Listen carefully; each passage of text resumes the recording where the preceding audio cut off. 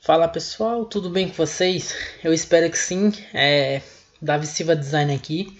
Um vídeo hoje tutorial que eu vou trazer é bem simples, bem básico, que você vai aprender facilmente se você usa o Illustrator, tá?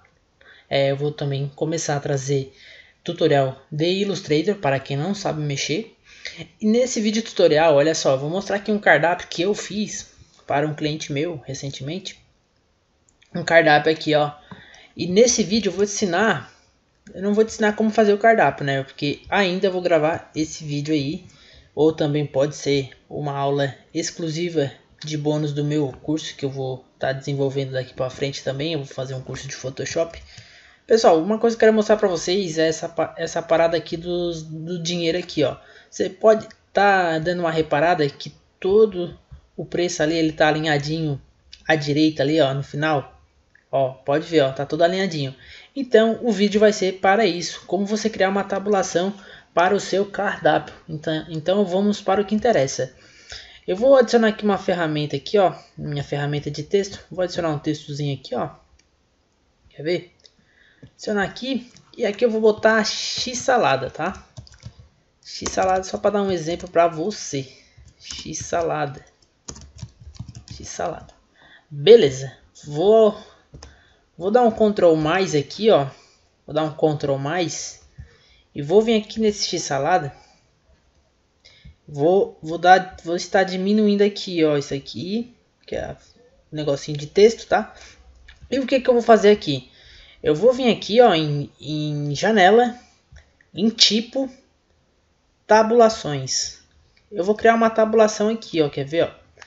Eu vou criar uma tabulação aqui no final do meu texto, tá? Aqui ó, no final do meu texto. E vou alinhar ele à direita, tá? Quer ver? Ó. Eu posso agora escrever qualquer tipo de dinheiro aqui, ó. Por exemplo, aqui, ó. Se eu quiser essa, é, aquela, aqueles pontilhados ali, ó. Pode ver em todos. A maioria dos cardápios tem esse pontilhado para representar o produto específico e o preço dele. Aqui eu posso dar um R. Opa, não, não é aqui não. Beleza, eu vou deixar aquele pontilhado ali, mas lá no meu cardápio eu não botei, tá? Perfeito. Agora o que, que eu posso fazer aqui? Vou botar o R. Botar o R aqui e o cifrão. E vou botar aqui esse salada é 20 reais. Vamos botar aqui, ó, 20 reais.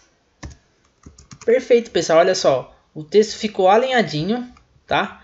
E o que, que você vai fazer agora? Aí você pode botar um fundo. Você vai ver como é que você vai trabalhar também com o seu cliente, né? Vou dar um Ctrl Z aqui. É, praticamente é isso. Não tem segredo. Aí você vem aqui, ó, vai duplicando o Alt. Com o Alt e o Shift selecionado, vai duplicando. E o seu cardápio vai ficar alinhadinho aqui, ó. Você pode botar qualquer preço. Por exemplo, aqui, ó, esse X salada aqui. Supor que ele é 10 reais. Olha só, vai ficando tudo alinhadinho, um embaixo do outro. Às vezes, às vezes pode ter uma, uma desproporção ali, mas é assim mesmo que você faz, ó, para dar início ao seu cardápio. Eu espero que você aprendeu alguma coisa nesse vídeo sobre tabulação. E é isso aí, pessoal. Muito obrigado por sua, pela sua atenção, beleza? É, tamo junto.